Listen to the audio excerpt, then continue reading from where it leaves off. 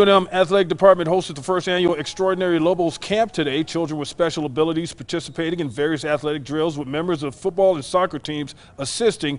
UNM head football coach Danny Gonzales has been actively fighting for inclusion with children that have special abilities, and he's glad this camp was finally able to help.